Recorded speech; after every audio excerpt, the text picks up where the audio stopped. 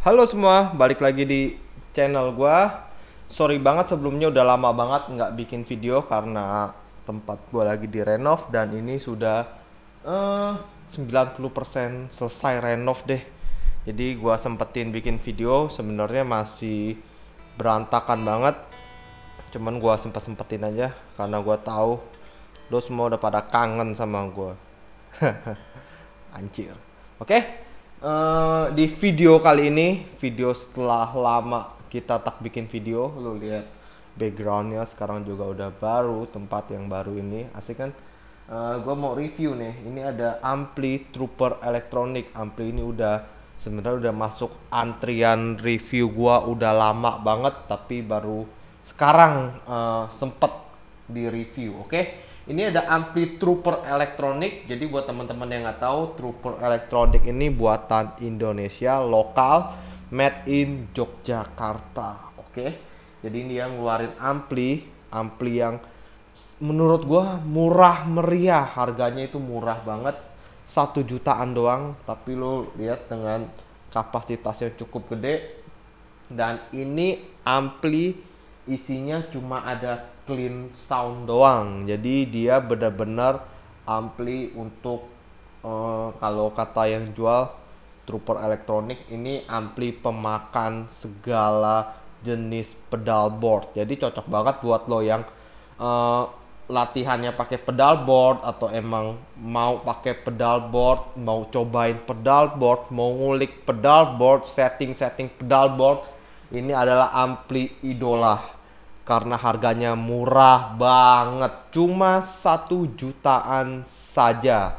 Oke jadi di ampli ini eh, ini SS25 guitar amplifier. Jadi eh, seriesnya itu SS25 oke Eh, dia cuma ada gain, height, mid, low dan level. Jadi dia nggak ada drive, nggak ada reverb, nggak ada segala jenis eh, sound-sound lainnya. Pure ampli clean sound, oke? Dan dia ada mode bright atau eh, standar. Jadi ada bright dan standarnya, oke? Langsung aja ya kita review ampli ini dan ampli ini headroomnya sangat gede menurut gua. Jadi gua mainin ini cuma di level 1 bro. Jadi kosong satu dan seterusnya. Gua cuman di level 1 aja soundnya udah menurut gua udah cukup di ruangan gua ini udah cukup besar. Jadi headroomnya cukup cukup gede. Buat lo yang mau main di luar ruangan atau 17-an RT ini masih bisa dibawa nih. Ini headroomnya gede banget ini ampli.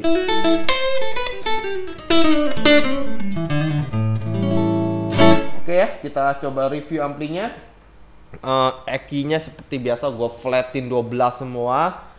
Cuma eh, levelnya atau volumenya gue kurangin jadi satu karena headroomnya gede banget dengan ampli yang murah meriah ini. Headroomnya gede sih lo udah jadi nilai plus banget. Jadi eh, untuk main di stage besar atau ruangan gede masih bisa diandalkan ya ampli nih. Ini level cuma satu doang yang lainnya flat 12 gua pakai gitar new eh gitar new lagi.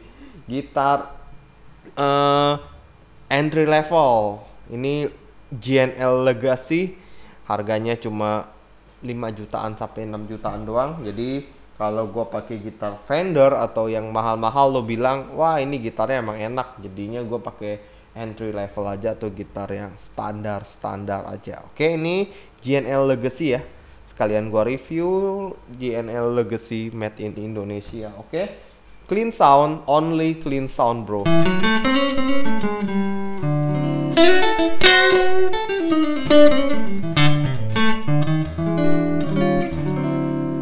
clarity-nya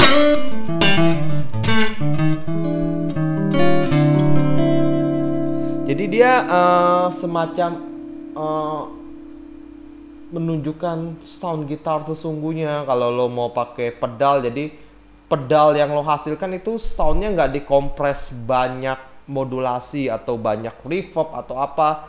Dia benar-benar menunjukkan ini loh sound git sound gitar lo itu kayak gini sound pedal board lo itu kayak gini. Jadi gunanya ampli yang tanpa banyak modulasi itu seperti ini gitu. Jadi dia benar-benar pure keluar, keluarin sound gitar lo itu seperti ini gitu.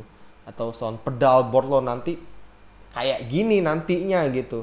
Jadi kadang kita uh, beda-beda ampli kan wah settingan pedal gue udah enak tapi kok pakai ampli ini beda ya? Dan ini saat cara mensiasatinya jadi lo setting kita kalau ketemu ampli lain ya setidaknya berubahnya ikut karakter amplinya. Jadi untuk karakter sound atau gitarnya ya dia jujur cukup jujur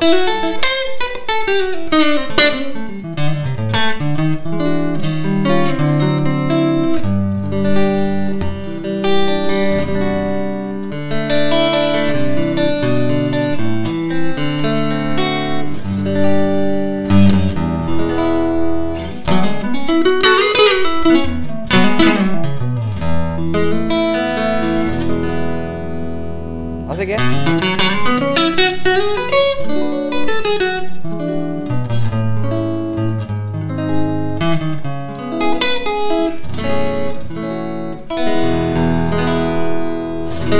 Oke, jadi dia ada mode uh, brightnya nih, sweet brightnya. Kalau kita naikin dia lebih bright soundnya.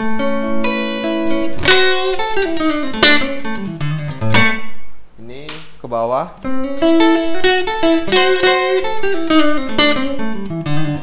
Ini lebih uh, normalnya. Kalau kita naikin dia bright. Seru ya?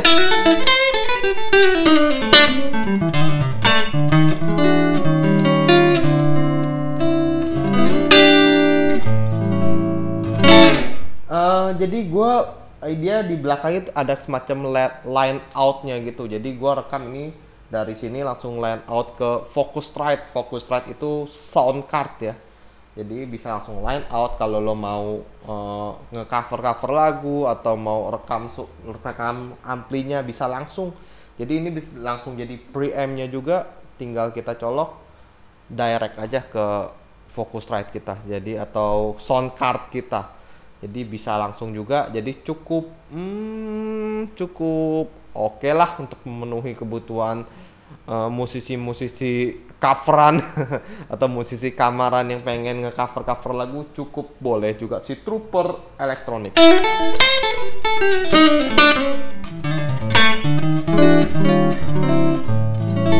Tapi gue suka yang normal aja nggak usah bright agak lebih fat suaranya.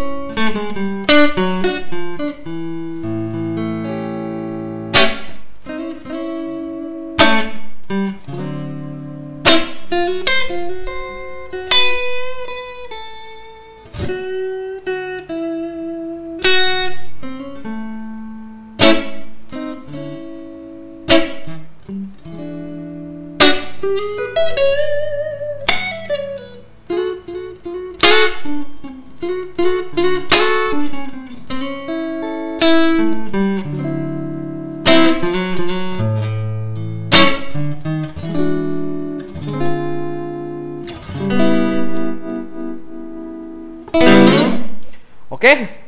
thank you. Sekian dulu review singkat dari Ampli Trooper Elektronik. Ini bisa lo dapetin di Instagram Trooper Elektronik atau ke Bang Bong Musik Bekasi karena kita juga menjual ampli ini.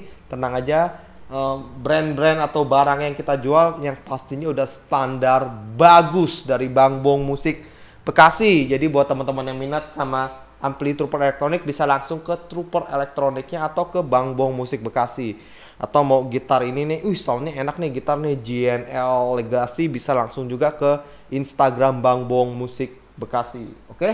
thank you. Dan nantinya gue akan coba review dia pakai pedal atau gue review-review pedal lainnya gue akan pakai ampli ini. Jadi untuk line up uh, gear yang gue pakai untuk saat ini sekarang gue pakai ampli Trooper Electronic Yamaha THR 10 uh, gue nggak pakai dulu. karena nggak di endorse juga ya udah gue pakai Trooper Electronic pro, produk anak bangsa bro oke okay? thank you sekali lagi sorry sekali lagi yang uh, banyak menanti nantikan gue kapan bikin video dan ini lagi sempat gue bikin video uh, buat teman-teman yang mau nanya-nanya seputar gitar, uh, pergitaran, pedal, ampli atau apa pun itu, silahkan komen aja di bawah ini. Sebisa mungkin gue akan jawab pertanyaan dari kalian. Oke, okay? Thank you juga untuk untuk 10.000 subscriber. Gila, nggak nyangka uh, channel kayak gini ada yang subscribe sampai 10.000. Oke, okay, thank you. Oke, okay, see you. Nantikan review selanjutnya dan sekarang mungkin gue udah mulai aktif lagi untuk bikin konten-konten. Thank you bro.